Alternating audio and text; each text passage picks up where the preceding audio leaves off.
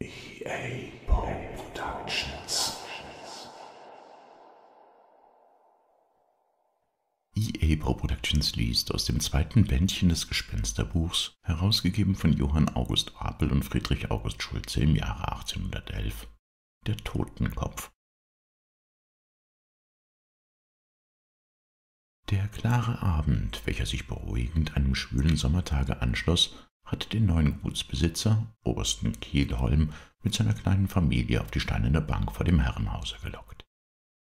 Um mit den einzelnen Untertanen allmählich bekannt zu werden, gefiel es ihm, manchen Vorübergehenden um sein Treiben und Tun zu befragen und mancher Beschwerde durch Rat oder auch wohltätige Unterstützung abzuhelfen.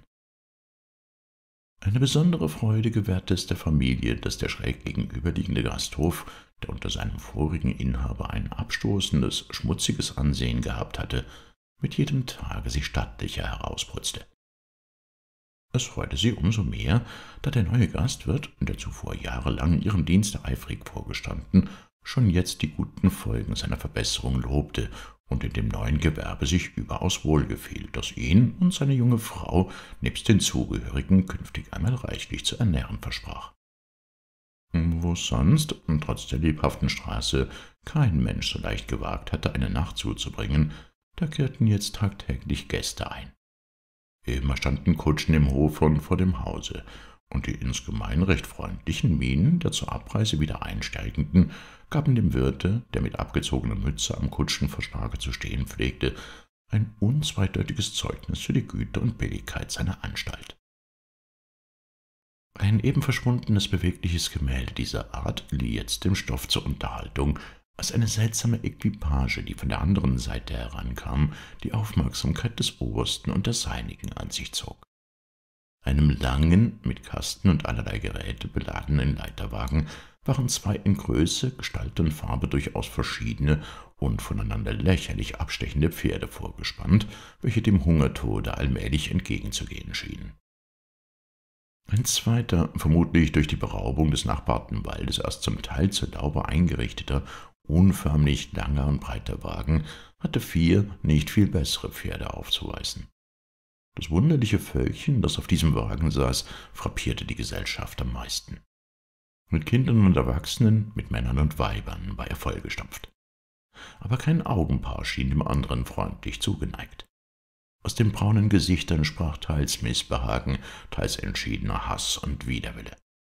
Das war keine Familie, sondern ein aufgeraffter Tross, der, vermutlich nur durch Furcht und Bedürfnis der Nahrung, locker zusammengehalten wurde. Der scharfe Blick des Obersten entdeckte dies schon in ziemlicher Entfernung. Er sah auch deutlich, wie sich aus dem Laubgewölbe im Hinterteile des Wagens ein besser als die übrigen gekleideter Mann hervorbewegte, und auf ein ermahnendes Wort von ihm alle sich nach dem Haus zukehrten und mildere Gebärden annahmen, auch Hahnkleider in besserer Ordnung zu streichen suchten. Der vordere Wagen hielt schon am Gasthofe, als der andere beim Herrenhaus vorüberkam und äußerst demütige Grüße der Gewogenheit der Gutsherrenschaft erbitten zu wollen schien. Kaum stand der zweite Wagen still, als auch schon alles herausgesprungen war. Jedes beeiferte sich, der Nähe des Nachbars baldigst zu entkommen. Das überaus flinke und künstliche Herabspringen selbst gab den sichersten Aufschluss über das Gewerbe der Leute. Unfehlbar waren es Äquilibristen. Der Oberste äußerte, dass sie ungeachtet der ehrerbietigen Grüße ihre Künste wohl schwerlich hier preisgeben, sondern allem Vermuten nach ohne Verzug der Residenz zureißen würden, weil es sich kaum der Mühe verlohne, die reiche Losung, welche sie dort erwarte, des dürftigen Gewinnes halber, auf den sie hier rechnen könnten, auch nur einen Tag später einzunehmen. Wir haben diese Leute, sagte er, von ihrer schlechtesten Seite gesehen, ohne die Hoffnung, sie auch von der guten kennenzulernen. Seine Gemahlin schien eben ihre Abneigung vor allen halsbrecherischen Künsten ausdrücken zu wollen, als der besser denn die übrigen gekleidete Mann herüberkam und nach einer tiefen Verbeugung um Erlaubnis bat, sich einige Tage hier aufhalten zu dürfen.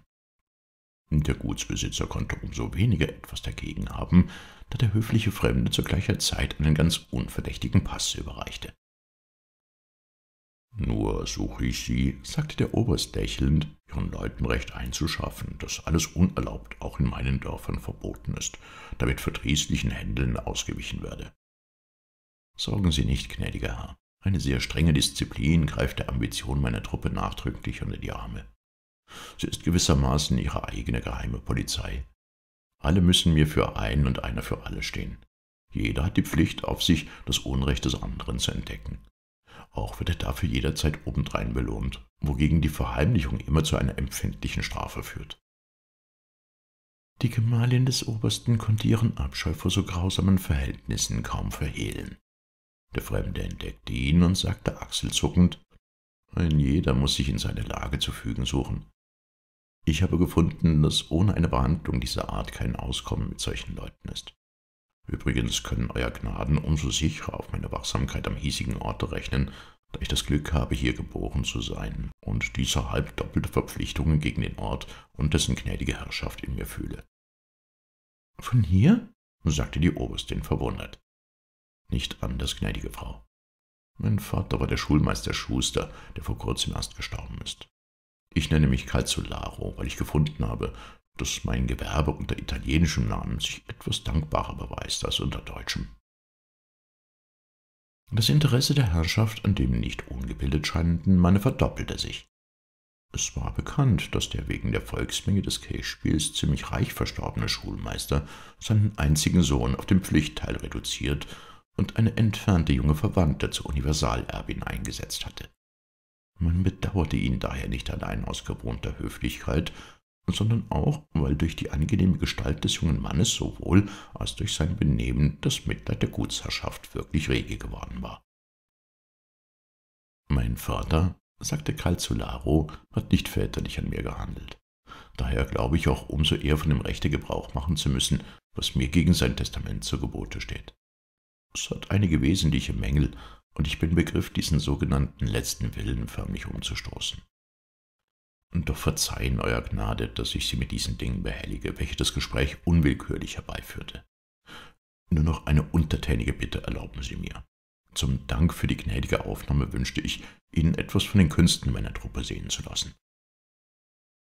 Der Oberst zeigte sich beifällig und der Tag dazu wurde festgesetzt. Noch an demselben Abend suchte Calzolaro den Pastor auf, um ihm sein Vorhaben gegen des Vaters Testament mitzuteilen. Der gute, fromme Mann entsetzte sich davor. Er suchte ihm die Gerechtigkeit des väterlichen Zornes zu beweisen. Denken Sie sich, junger Mann, sagte er, einen Greis, der dieses in seinem Berufe geworden ist und sich eines Sohnes erfreut, in dessen Hände er diesen Beruf legen kann. Denken Sie sich einen Sohn von Talent, Kenntnis und Willen dazu.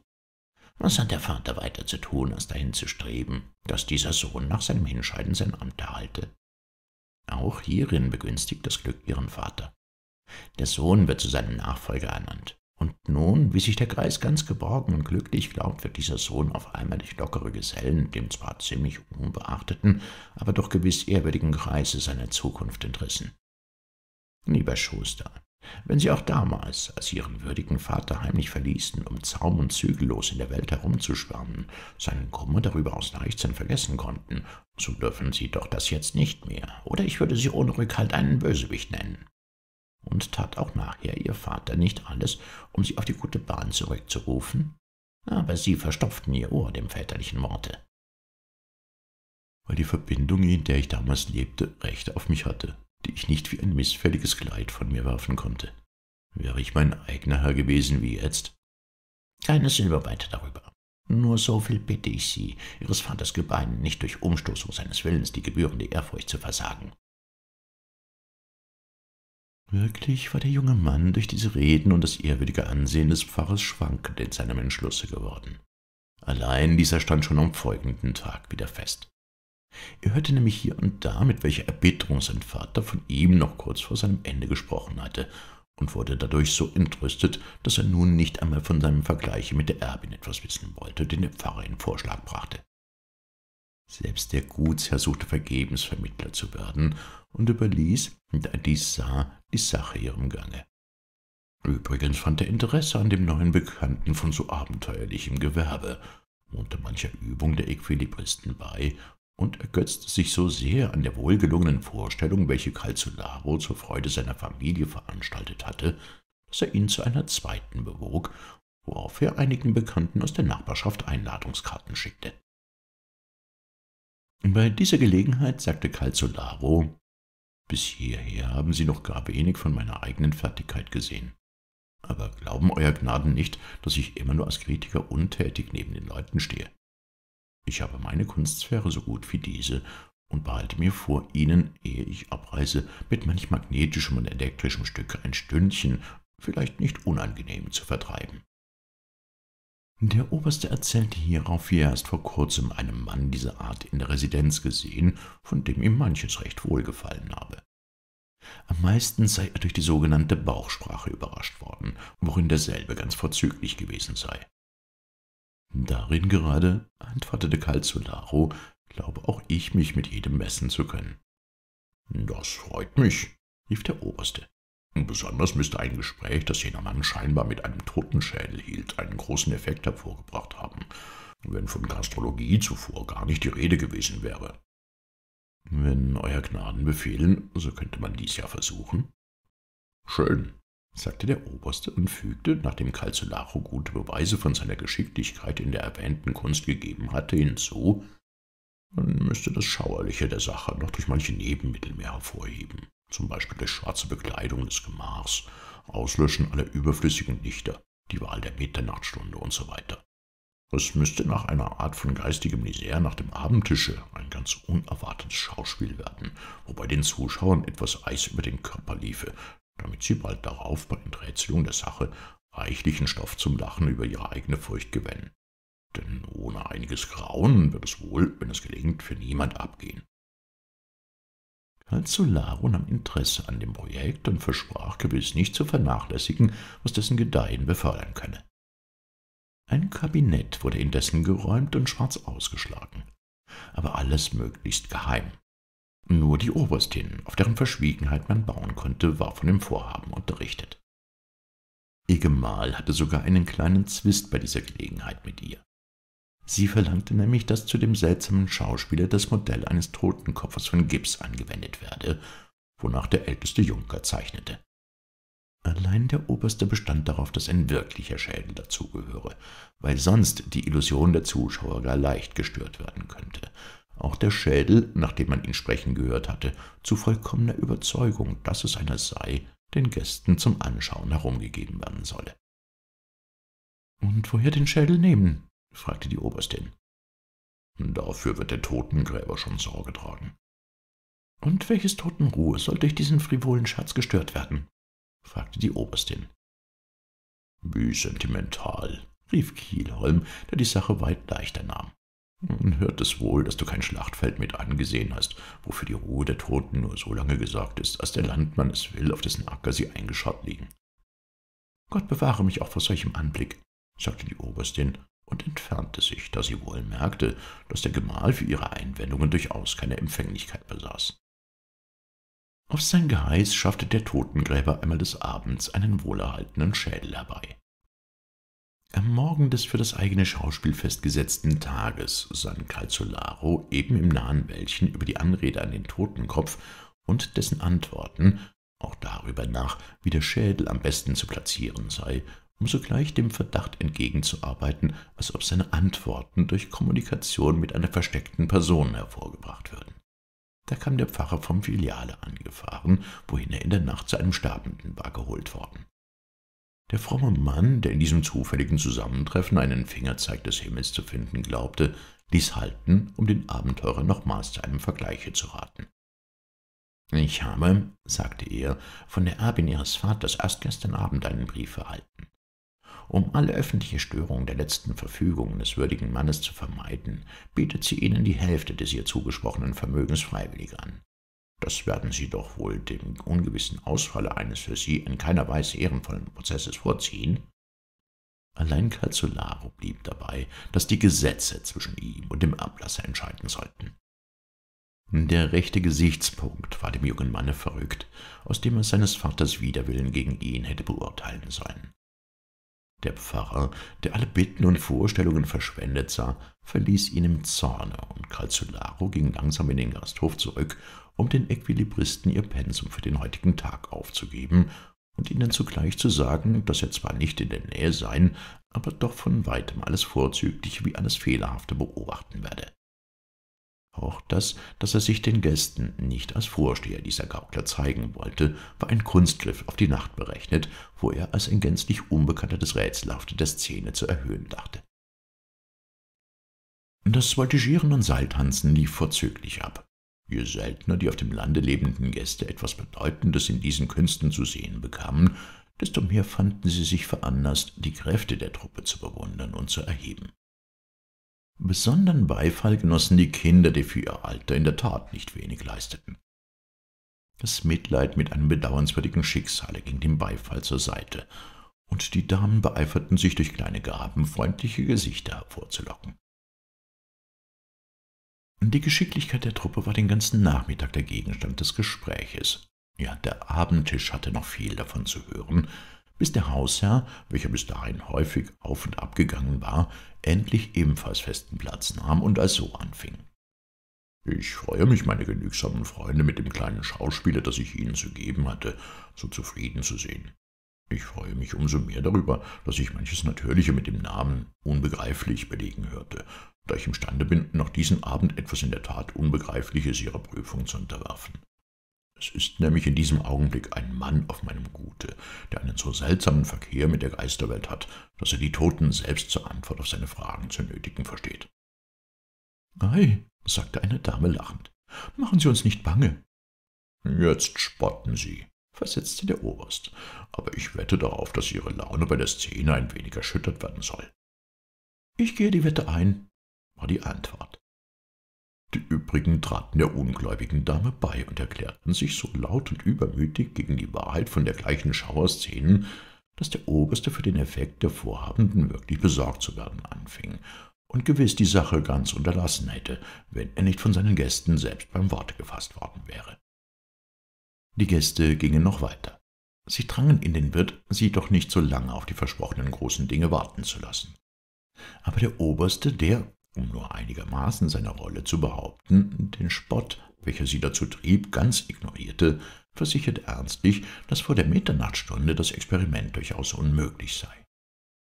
Endlich schlug die Turmuhr zwölfmal, und der Hausherr winkte den Bedienten, dass sie einige Reihen Stühle vor die Tür eines Seitenkabinettes setzten. Dann lud er die Gäste ein, auf diesen Stühlen Platz zu nehmen und befahl, als das geschehen war, das Auslöschen sämtlicher Lichter.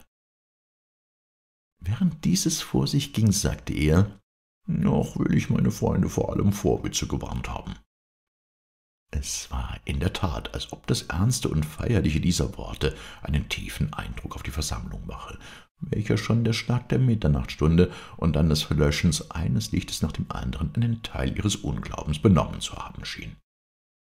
Dazu erschollen aus dem Gemache, vor dem die Versammlung saß, der Geisterbeschwörung tiefe, wunderliche Töne, die von abgemessenen Hammerschlägen unterbrochen wurden, bis endlich beide Flügeltüren auseinanderflogen und aus der Weihrauchwolke, welche das ganze Kabinett ausfüllte, nach und nach mit einfachem Schwarz bekleidete Wände zum Vorschein kamen, nebst einer ebenfalls schwarz umhangenen Ara, von der ein Totenkopf die Gesellschaft schauerlich anblickte. Schon jetzt schienen die Atemzüge der Anwesenden lauter und unsicherer zu werden als zuvor. Ja, die Unruhe vergrößerte sich, je mehr allmählich der Weihrauchnebel dem klaren Lichte weichen musste, das von einer an dem Plafond befestigten großen Alabasterlampe ausging. Auch blickten die meisten sehr besorgt um sich, wie sie ein Geräusch hinter sich vernahmen, welches beiläufig gesagt von niemand herrührte als ein paar Hausoffizianten, denen der Oberste erlaubt hatte, die Szene in einiger Entfernung mit anzusehen. Nach einer minutenlangen Totenstille trat endlich Calzolaro von der Seite hervor.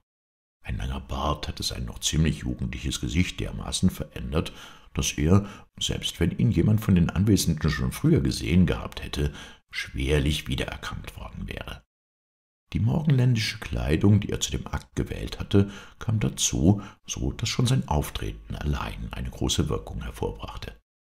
und zugleich durch den Stolz auf seine höhere Kunst zu imponieren, hatte der Oberst ihm geheißen, ohne alle Vorbeugung und höfliche Anrede an die Versammlung aufzutreten, auch überhaupt eine Sprache zu führen, welche von der gewöhnlichen Umgangssprache um ein merkliches abwiche. Ein mystischer Galimathias, meinten beide, würde dabei gar nicht zu verwerfen sein. Calzolaro begann daher mit tiefer, erschütternder Stimme. Das Leben ist da, um sich in den schwarzen Schlund, den wir Tod nennen, hinabzutauchen und dort einem ganz neuen, stillen Reiche einverleibt zu werden. Es ist aus diesem Reiche wieder hervorzuziehen. Darin besteht der Zweck aller höheren Kunst. Mögen Troren und Schwachköpfe von Unmöglichkeiten schwatzen. Der Weise beklagt sie, die nicht wissen, was möglich oder unmöglich, was wahr oder falsch, was Licht oder Schatten ist, die die großen Geister nicht kennen und begreifen, welche aus den stummen Gruften und Gräbern, aus den zerfallenen Gebeinen der Abgeschiedenen eine so schauerliche als wahre Sprache vor das erstaunte Ohr der Lebenden bringen. An euch, die ihr hier versammelt seid, vorerst ein warnendes Wort. Hütet euch, durch irgendeine vorwitzige Frage die Rache des Geistes zu reizen, der von meinem ersten Worte an diesen Totenkopf unsichtbar über ihm schweben wird. Versuchet übrigens euer Grauen zu mäßigen und höret alles in Demut und Ruhe. Denn ich nehme die Gehorsamen in meinen mächtigen Schutz und lasse nur die Frevler von dem wohlverdienten Verderben ereilen. Der Oberste bemerkte mit innigem Wohlgefallen, welchen Eindruck diese hohlen, mit der nötigen Pracht und Anmaßung ausgesprochenen Worte auf die vor kurzem noch so ungläubige Versammlung machten. Die Sache gelingt besser, als ich mir eingebildet hätte, flüsterte er seiner Gemahlin zu, die jedoch kein Wohlgefallen an der Szene bezeigte, er sie einzig ihrem Gatten zuliebe mit abgewartet hatte. Calzolaro fuhr indessen fort, betrachtet diesen Schädel. Armselig und hilflos, wie er jetzt vor euch liegt, gehört er einst einem der stolzesten, unmäßigsten Tyrannen. Meine geheime Kunst öffnete die Riegel, welche das marmorne Grabgewölbe einer Reihe von Fürsten verschloss. Und nun ist er da, dem Geweihten der Geister Rede zu stehen über sein ganzes, einst so furchtbares Herrscherleben. Er zittert nicht, wie sehr er auch in Drogen gegen mich und euch ausbrechen sollte. Denn nur vergebens wird seine Ohnmacht sich mit der verschwundenen Größe gegen meine Herrschaft über ihn zu sträuben suchen, wenn keine strafbare Voreil von eurer Seite den stillen Gang meiner ernsten Fragen zu unterbrechen sucht. Nach diesem öffnete er eine der Versammlung unsichtbare Seitentüre des Kabinetts, langte eine Kohlenpfanne herein, streute Weihrauch darauf und ging dreimal damit um die Ara herum, unverständliche Laute nach allen vier Ecken aussprechend. Dabei zog er ein Schwert, mit dem er umgürtet war, aus der Scheide und hieb damit in den Weihrauch hinein, auch einige Male mit entsetzlich verzogenem Gesichte und als ob er den Schädel zerspalten wollte. Nach diesem den jedoch sein Schwert unberührt ließ. Darauf fasste er ihn mit der Spitze des Schwertes an, hielt ihn vor sich hin und trat damit den geängstigten Zuschauern näher. »Wer bist du, elender Staub, hier auf meiner Degenspitze?« Fragte Calzolaro, und das noch mit festem Auge und gut abgemessener Stimme. Aber kaum ist die Frage aus seinem Munde, so erbleicht er plötzlich, sein Arm erzittert, die Knie schwanken. Die starren, auf den Schädel gerichteten Augen vergehen ihm. Kaum, dass er zuvor noch das Schwert und den Totenkopf auf die Ara zu legen vermag, sinkt er plötzlich und mit allen Merkmalen eines grenzenlosen Entsetzens zu Boden. Die außer Fassung geratenen Gäste sehen den Wirt, der Wirt sieht die Gäste an. Niemand weiß, ob dieser rätselhafte Vorfall mit zur Sache gehöre oder wie er sonst zu erläutern sein möchte. Die Versammlung ist aufs höchste gespannt. Man wartet noch lange, aber der Aufschluss will sich nicht finden. Endlich regt sich Calzolaro wieder und fragt, ob sein verstorbener Vater wieder hinweg sei. Hat man sich vorher verwundert, so erstaunt man nun. Der Oberste will wissen, was diese Sonderbarkeiten zu bedeuten hätten und ob er die Versammlung mit dem versprochenen Totengespräche zum Besten gehabt habe. Calzolaro äußerte hierauf, er wolle sich in alles ergeben und jede Bestrafung seines unseligen Frevels gern erleiden, nur bitte er inständig, dass der Schädel wieder an seine Ruhestätte gebracht werde. Er hatte alle Haltung verloren und stand auch nicht eher vom Boden auf, bis die Oberstin seiner Bitte nachgegeben und den Befehl erteilt hatte, den Totenkopf sogleich auf den Gottesacker zu schaffen, um ihn wieder beerdigen zu lassen. Bei dem so ganz unerwarteten Ausgange der Szene verwendete sich kein Auge von dem vor kurzem noch so hochfahrenden Redner, welcher gar nicht wieder zu Atem kommen konnte und von Zeit zu Zeit flehende Blicke herüberwarf, dass man sich nur so lange gedulden möchte, bis seine Kräfte wieder zum Vortrag gesammelt sein würden. Der Oberste erzählte inzwischen den Anwesenden, welch ein Scherz auf eine bis jetzt noch unerklärliche Weise verfehlt worden war. Endlich fing Calzolaro sehr kleinmütig an. Das Gaukelspiel, das ich vorhatte, hat gar furchtbar für mich geendigt. Zum Glücke scheint der höchstgeehrtesten Versammlung der schreckliche Anblick erspart worden zu sein, der mich wohl um alles Bewusstsein bringen musste. Denken Sie sich, dass kaum, da ich den Schädel mit dem Schwerte aufgehoben und angeredet habe, er mir auch schon ganz in der Gestalt meines verstorbenen Vaters erscheint. Ob es mein Ohr war, das seine Worte selbst hörte, weiß ich nicht. Noch wie sonst mir den Sinn der Anrede, erzittere Vatermörder, wenn du nicht umkehrst und den Weg erwählst, den du schändlicherweise verlassen hast, beigebracht wurde. Die grausende Erinnerung beengte den Atem des Abenteurers dergestalt, dass er nichts weiter zu sprechen vermochte. Der Oberste erklärte indessen der Versammlung in der Kürze, was dieser Dunkel in der Rede sein musste. Darauf sagte er zu dem reuigen Gaukler, da Ihnen Ihre Fantasie nun einmal den befremdenden Streich gespielt hat, so ersuche ich Sie, ihr, um künftigen ähnlichen Vorfällen auszuweichen, wenigstens insoweit zu gehorchen, um mit der Erbin Ihres verstorbenen Vaters den angebotenen Vergleich einzugehen. Nein, gnädiger Herr, erwiderte er, keinen Vergleich. Dadurch würde meine Schuldigkeit nur halb erfüllt. Alles soll ihr gehören und der Prozess niedergeschlagen werden. Zugleich versicherte er, dass er seine zeitherige Lebensweise aufgeben und den Wunsch seines Vaters ganz erfüllen wolle. Der Oberste äußerte hierauf, dass dies ein sehr guter Gedanke sei, der ihn mit dem Striche durch die Rechnung, den er ihm diesen Abend gemacht habe, gänzlich aussöhne. Die Versammlung ermüdete nicht mit mancherlei, zuweilen recht seltsame Fragen an den Geisterseher. Unter anderem verlangte man zu wissen, ob der Kopf, der ihm erschienen sei, leichenähnlich oder gesund ausgesehen habe. Vermutlich das erste war seine Antwort. Die grausende Wirkung des Ganzen hatte mich so zermalmt, dass ich das Einzelne wohl darüber vergessen musste. Denken Sie sich nur einen Sohn, der aus dem Schwerte in seiner Hand den Kopf seines eigenen Vaters erblickt. Der bloße Gedanke könnte ja schon allein zum Wahnsinn führen. Hatte ich doch nicht geglaubt, sagte der Oberste, nachdem er den Geisterseher lange angeschaut hatte, dass das Gewissen eines Mannes, der wie Sie die Welt durchstreift hat, seiner Einbildungskraft noch so viel zu schaffen machen würde. Also, gnädiger Herr, Sie zweifeln an der Wirklichkeit der Erscheinung. Ich meines Orts bin bereit, darauf den fürchterlichsten Eid abzulegen. Ihre Behauptung widerlegt sich von selbst. Wir alle haben hier ja ebenfalls Augen für das Wirkliche, und niemand sah etwas als einen gewöhnlichen Totenkopf. Das kann ich freilich nicht erklären. Aber noch mehr, ich bin sogar überzeugt, woher ist auch immer mir ein Rätsel, doch überzeugt wie von meinem eigenen Leben, dass dieser Schädel wirklich der Schädel meines Vaters selbst müsse gewesen sein. Auch hierauf erbiete ich mich zu dem schauerlichsten Eide. Ihnen den Meineid zu ersparen, soll sogleich vom Totengräber Auskunft eingeholt werden. Der Oberste ging hinaus, um dies anzuordnen. Als er nach einer Weile wieder hereinkam, sagte er, Wunderbar genug ist der Totengräber hier im Haus, aber nicht in dem Zustand, Antwort zu geben.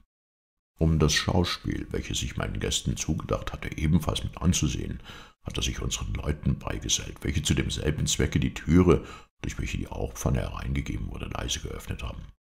Zugleich mit unserem Geisterseher ist auch der Totengräber umgesunken und bis diesen Augenblick noch nicht wieder zum Bewusstsein gelangt, ob schon alle hierher gehörigen Mittel versucht worden sind. Einer der anwesenden Herren behauptete jetzt, dass ein starker Likör, den er, der ebenfalls zu Ohnmachten geneigt sei, bei sich zu führen pflege, die hartnäckigsten Zufälle dieser Art jederzeit zuverlässig vertreibe. Die ganze Versammlung begleitete ihn zu dem Kranken aber auch dieses Mittel schlug nicht an. Unfehlbar ist der Mann ein Kind des Todes, sagte der Herr. Die Turmuhr, welche eben die erste Stunde nach Mitternacht ansagte, mahnte zum Aufbruch. Doch die Regung, die unmittelbar darauf in dem Ohnmächtigen von selbst sich zeigte, hielt die Gäste beisammen.